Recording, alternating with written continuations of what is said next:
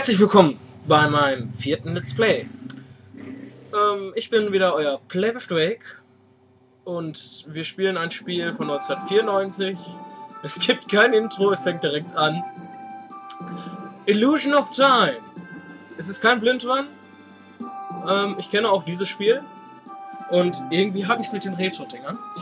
Ja, ich mag Retro-Dinger und wenn ich Spiele schon lange nicht mehr gespielt habe, so wie dieses hier, ähm, spiele ich das auch mal ganz gerne wieder.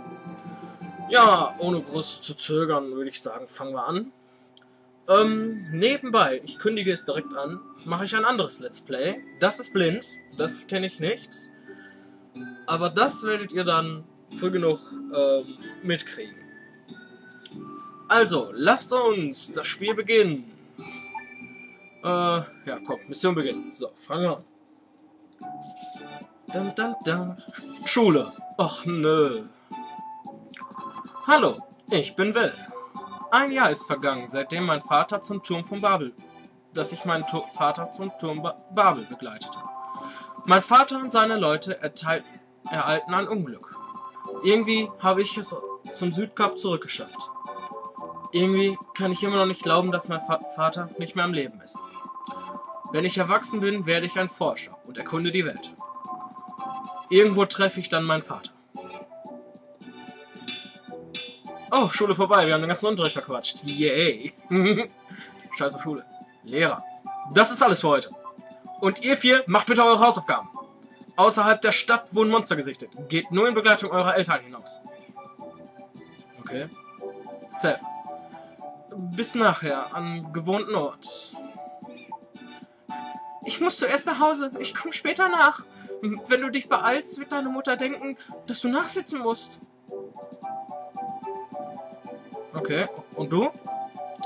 Äh, wir treffen uns bei der Höhle am Meer. Okay, was hast du zu sagen? Oh, Will, hör dir mein Gedicht an. Es war einmal ein altes Schloss und Kunibert, so hieß der Boss. No comment. Ja, Illusion of Time. Es ist ein, ähm, ja, wie nennt man das, wie kann man das nennen? Wir haben ein Menü, wir haben Pause. Das ist unser Speicherpunkt. Wir haben, das sind solche komischen Portale. Da gibt es eine Geschichte, Geschichte hin, das Fährenportal. Ähm, da gibt es eine Geschichte hinter. Ich glaube, das ist Gaia, soweit ich weiß. Und, ähm, aber die Geschichte an sich kenne ich nicht. Ich bin Gaia, die Quelle allen Lebens.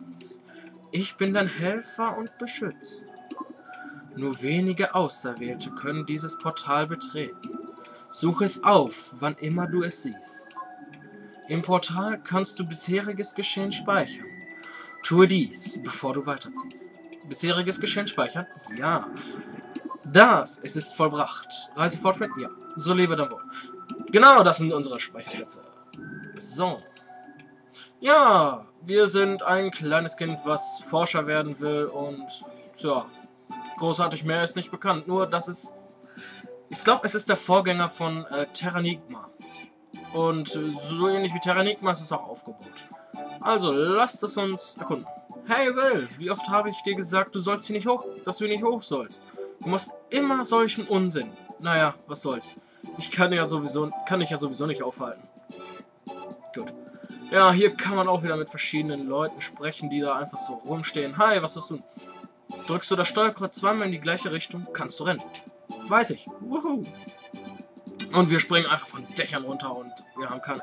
Ich bin ein Juwelier, der Reisende zwischen den Kontinenten. Was ist dein Begehr? Bin du zufällig hier, bewahr meine Juwele auf, zeig mir dein Angebot. Zeig mir dein Angebot. Für die Juwelen werde ich dich mit nützlichen Dingen meines Inventars versorgen.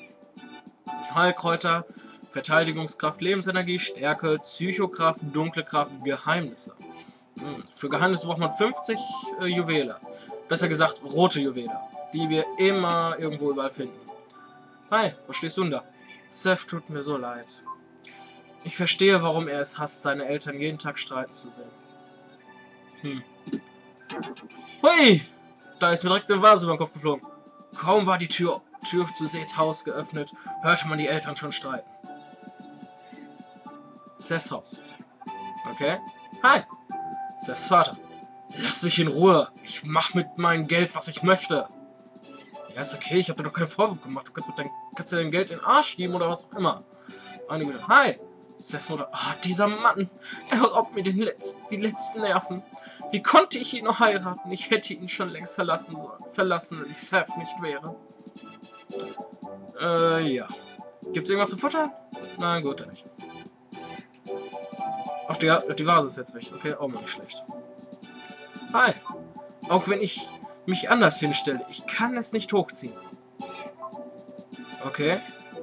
Ich drücke dir die Daumen, dass du es schaffst. Hi. Seth tut mir so leid. Achso, das ist die Frau. Das ist Lawns Haus. Er lebt hier mit seiner Mutter. Sie ist schon sehr alt. Mhm. Eine alte Granny. Hi. Dein Vater ist bereits, bereits seit, seit einem Jahr beim Turm von Babel verschollen. Mir kommt es vor, als sei es erst seit gestern. Ähm, ich werde versuchen, die Stimmen zu synchronisieren. Die Hauptcharaktere, die haben meistens eine farbige, äh, farbige Schrift. Die werde ich auf jeden Fall besser synchronisieren. Bei Grauen werde ich mir ähm, je nach Charakter mal eine weibliche, mal eine männliche Stimme geben. So, und hier unten ist nichts. Rotes Juwel gefunden. Genau das meinte ich. Diese, diese Juwele, die gibt man dann beim, beim Juwelier ab und ähm, kann dann dementsprechend was holen.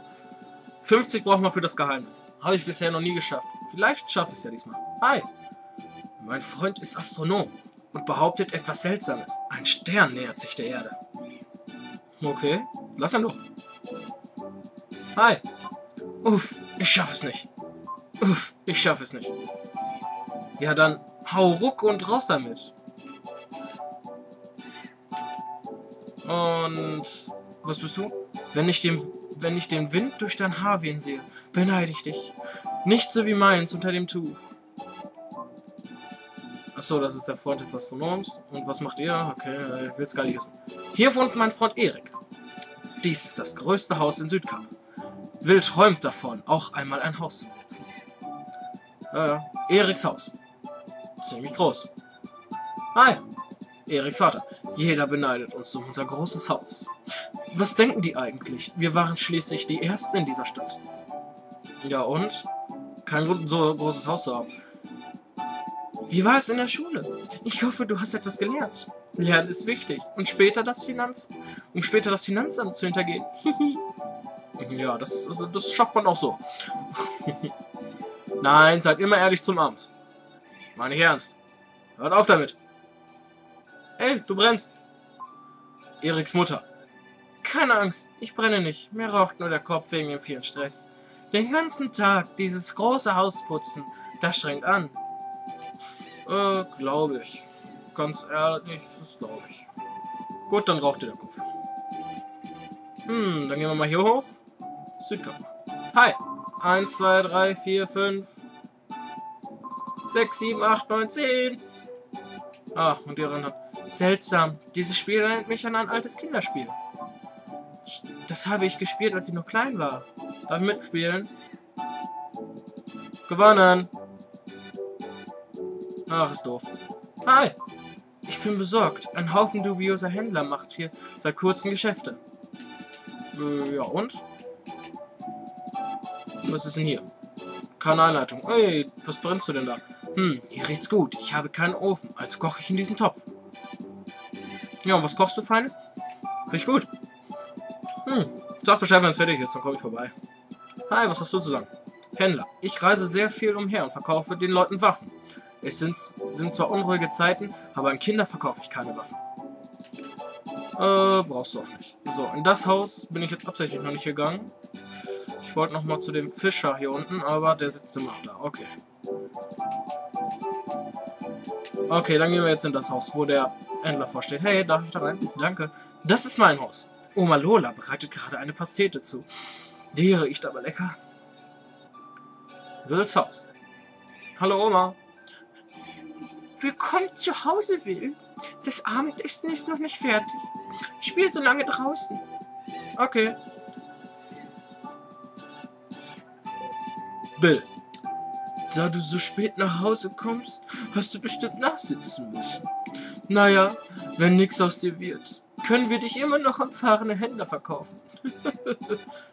äh, ja, danke, Bill. Okay. Dann springen wir hier runter. Uh. Ich bin ein Fan von Abkürzungen.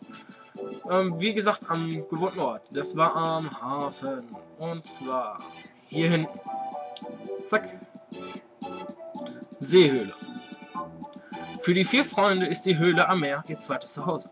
Sie treffen sich hier nach der Schule, um bis abends hier zu spielen. Yay! Wir spielen Karten. Was spielen wir? Durak 31, ähm, Skat, äh, Doppelkopf. Keine Ahnung, was spielen wir? Was ist los, Will? Es ist schon spät. Ich spiele noch mit Seth Karten. Bin gleich soweit. Seth. ich werde ganz sicher gewinnen. Plötzlich erscheint Erik. Er scheint sehr aufgeregt zu sein. Oh mein Gott, Erik. Ich habe Neuigkeiten. Große Neuigkeiten. Die Prinzessin ist von Edwards Schloss, ist weggelaufen. Man vermutet, sie ist hier im Südkap. Dum, dum, dum. Das ist alles? Du bist hier hineingeplatzt, als sei etwas Schlimmes passiert. Könnte es sein, dass du dich in die Prinzessin verliebt hast? Nein, aber vielleicht kommen die Soldaten hierher, um nach ihr zu suchen. Wenn die Soldaten hier auftauchen, bekommen wir Ärger, denn wir dürfen hier nicht spielen. Und als ob nichts gewesen ist, wir machen einfach so weiter. Hm, cool. Hi. Hm, Pech im Spiel mit der Liebe sieht es auch nicht besser aus. Tja, das hat ein Pech. Komm her, Will, und setz dich neben Erik. Ja, aber ich, erst will ich mit Erik sprechen. Wir sollten also aufpassen. Okay, dann setze ich mich mal neben Erik. Wir sind komplett. Äh, was wollen wir machen? Ich möchte Wills telekinetische Kräfte sehen. Kennst du sie noch nicht? Er bewegt Dinge, ohne sie zu berühren. Er hat die Statue dort in der Ecke verschoben. Mach's noch einmal, Will. Okay. Und ja. Oh, sie hat sich bewegt. Holiday, Holiday. Ja, das kann ich. Ganz wunderbar. Oder auch nicht. Komm. Ah, cool, wa? Egal wie oft ich es sehe, ich kann es immer noch nicht glauben. Aber warum kannst du nur die Statue bewegen? Und keine anderen Sachen? Hm. Stimmt, den kann ich nicht bewegen. Wenn ich das mal auch könnte. Tja. Zieh, zieh eine Karte. Irgendeine. Ich drehe vier Karten um. Versuche das Karo Ass auf Anhieb zu finden. Das Karo Ass, ich sag mal, ich, ich habe zwar telekinetische Kräfte, weil ich die Statue manipuliert habe mit dem Seil, ne? Das habt ihr nur nicht gesehen. Mit Magneten, ne? Meine Flöte ist Magnet und dann ziehe ich das da äh, ran. Nimm jetzt die Karte. Und zwar die Karo. Okay, äh, äh, äh, äh, Rauch, Rauch, Rauch, äh, nehmen wir die. Will nimmt eine Karte. Es ist natürlich das Karo Ass. Ah, richtig. Hoi, hoi. Ups, ich bin sprachlos. Hey, Seth, das ist doch so eine Art von Psychokraft, oder? Es muss um eine Art psychische Kraft handeln. Ich wüsste auch gern, was sich dahinter verbirgt. Die meisten Leute haben fünf Sinne. Sehen, hören, schmecken, riechen und fühlen. Ich vermute, Wills Psychokraft ist eine Art sechster Sinn. Was? Was Seth erzählt, ist äh, viel zu kompliziert für mich. Lass uns noch einmal spielen, Seth. Wenn ich das nur auch könnte. Ach, und ihr spielt jetzt ohne, vier, ohne äh, drei weiteren Karten. Okay. Nur noch ein Spiel mit Seth und ich gehe nach Haus. Hahaha, ich werde ganz sicher gewinnen. Oh Gott, ich gehe jetzt schon nach Hause, ey, das reicht mir. Südgab! Es ist bereits dunkel, als Will die Höhle verlässt. Okay, dann ist das Essen bestimmt fertig. Und was macht der, macht der Angler? Sitzt er immer noch. Uff, ich schaffe es nicht. Okay, dann schaffst du es halt nicht. Auf nach Hause! Wuhu! Und was stehst du eigentlich hier vor unserer Tür? Geh da weg! Okay, ja, Mensch. Wildes Haus. Ey, da ist ein Schwein. Unser Braten. Yay. Ein Schwein ist in Wilds Haus eingedrungen.